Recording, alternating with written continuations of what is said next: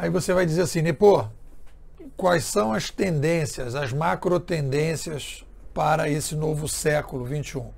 Então a gente viu lá o seguinte: aumentou a população. Segundo o nosso amigo Malthus, lá atrás, Thomas Malthus, quando você aumentava a população, você tinha uma crise produtiva. Mas para não ter a crise produtiva, o que, é que você tem que fazer? Você tem que dar upgrades, upgrades, upgrades, upgrades no processo produtivo para equilibrar oferta com demanda. Então isso é uma coisa que qualquer pessoa vai chegar a esse cálculo e é tranquilo.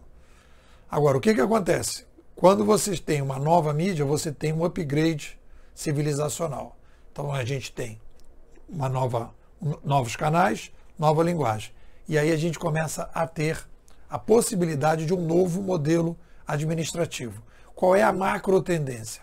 É a descentralização das decisões, a distribuição das decisões com a possibilidade que nós temos com a chegada da uberização. Qual é o grande, o grande objetivo quando a gente olha para o Uber? Você tem um problema de qualidade, vamos pegar um caso específico. Você tem um problema de qualidade na quantidade. Então o que, que acontece? Você tem muitos taxistas com baixa qualidade. Você não tem como avaliar os taxistas. Você não tem a, a prefeitura não tem condição de fiscalizar todos os taxistas. Então você vai degradando o serviço. Você tem o serviço super degradado, alto custo e você não tem é, é, quantidade na qualidade e qualidade na quantidade. E aí você começa a ter problema. Então, a uberização, que na minha opinião tende a ser a hegemonia da sociedade no médio e longo prazo, que, qual é o, qual, como é que ela resolve? Ela modifica o modelo de comando e controle. Porque com a nova linguagem eu passo a ter confiança nas pessoas que eu não tinha possibilidade de fazer antes. E aí eu passo a fazer as articulações horizontais. Vamos falar mais disso. Então, o que, que acontece aí? Acontece que a gente passa, a gente tinha uma barreira, isso é fundamental de entender. A gente tinha uma barreira de, de capacidade produtiva na gestão. E eu não conseguia resolver determinados problemas com o líder alfa, com o comando e controle da gestão.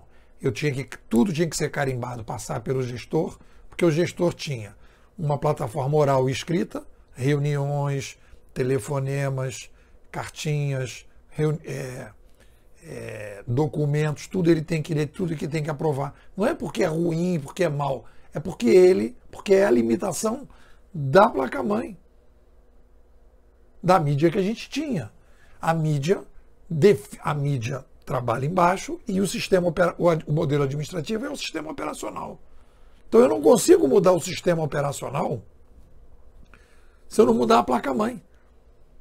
E o que é interessante nesse processo, de entender nesse processo, é o seguinte: tem muita gente que acha que vai fazer as modificações, não é que a gestão não pode se aprimorar, você não pode digitalizar processos, colocar tecnologia e tal. Tudo certo, pode e deve. O problema é que quando a gente a gestão tem um limite estruturante, não é conjuntural, é estrutural. É um limite estruturante, por quê? Porque tudo tem que passar pelo gestor. O gestor, ele controla produtos e serviços. Ele controla as pessoas. Quando a gente olha para a uberização, o que, que a gente faz? A gente tira o gestor de uma série de atividades. Não é que não tem nenhum gestor. O Uber tem gestor lá em cima, ainda, na curadoria que a gente tem hoje. Mas o que, que acontece? Ele não controla as pessoas. Não tem departamento de RH no Uber. Se tiver um RH, é um RH só dos 250 caras que trabalham no Brasil. Pequenininho ali. Os outros milhares de motoristas né, que trabalham no mercado não tem RH. O RH foi todo distribuído e descentralizado para quem? Para o usuário. Esse cara não é bom, esse cara não está bem, o carro dele não é legal, esse cara não dirige bem, esse, o carro dele está fedendo, o carro dele está com problema de amortecedor e vai tudo na estrelinha. Qual é a grande vantagem? Eu ganho escala nesse processo. Eu começo a ter uma possibilidade de escalar. E aí eu estabeleço o que a gente chama de confiança 3.0, 2.0, uma nova confiança, que é a confiança digital. Eu passo a poder, com o histórico que ele coloca na rede, seja o Airbnb, seja o Mercado Livre, seja o Uber, seja um vídeo no YouTube, seja no Twitter, eu vou ver quantos seguidores esse cara tem, qual é o histórico que ele tem, ele atende bem as pessoas, o que, que as pessoas falam dele. E a partir daí eu começo a ter uma confiança que é baseada em outra linguagem, que é a linguagem dos rastros, que é uma linguagem próxima das formigas, que é uma linguagem em que espécies com alta complexidade, que é o nosso caso agora, passam a utilizar para poder resolver os problemas de sobrevivência e de existência. No nosso caso, tem existência. Então, qual é a macro tendência? A macro tendência é: eu vou começar a cada vez mais usar esse novo ambiente de comando e controle porque ele é mais exponencial. Porque ele resolve problemas que esse não resolvia. E qual é o problema que a gente tem? A gente acha que, que o atual modelo ele pode ser turbinado, que ele pode ser melhorado. A gente vai falar sobre isso. Conclusão que eu cheguei depois de longo e tenebroso inverno, que são dois modelos administrativos incompatíveis. É a primeira vez que isso acontece e por isso eu acho que a gente pode até dividir o atual momento como Sapiens 1.0, que tinha um comando e controle específico, um modelo de comunicação e controle específico, que você tinha comunicação e administração de uma determinada forma, que veio fazendo upgrades desde então. E agora a gente está indo para um outro modelo, que é um modelo em que você toma decisões com muito mais participação que você não tinha condições de tomar antes. Então, você, por exemplo, diz: olha, tal motorista, várias pessoas coletivamente dizem: tal motorista do Uber não tem mais condição de ficar no Uber. Tal motorista do Uber, ele é ok, pô, deveria ganhar cinco estrelas do Uber. Isso tudo é de maneira muito dinâmica, muito rápida. Para quê? Para que a gente possa ir resolvendo os problemas grandes, qualidade na quantidade, quantidade na qualidade, de uma nova maneira. O que, que é o, o, o nó do, da questão.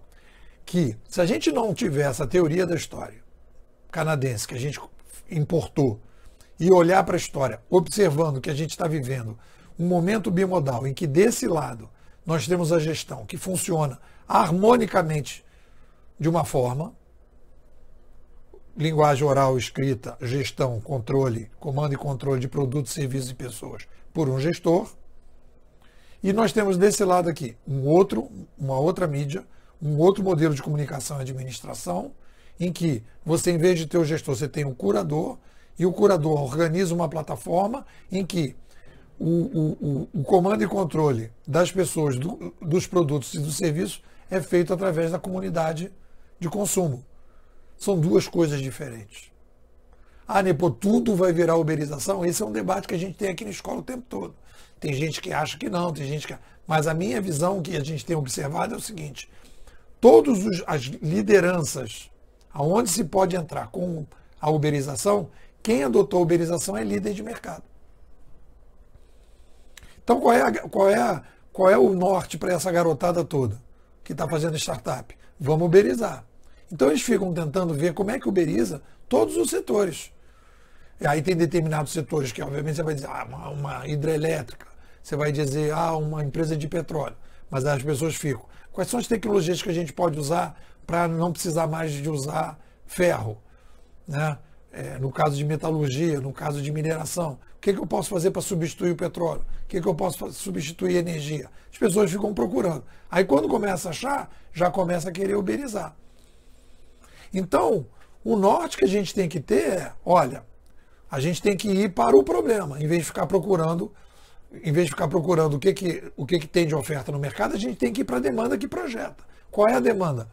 Pessoas querem personalização, pessoas querem mais qualidade, pessoas querem redução de custo, melhor atendimento.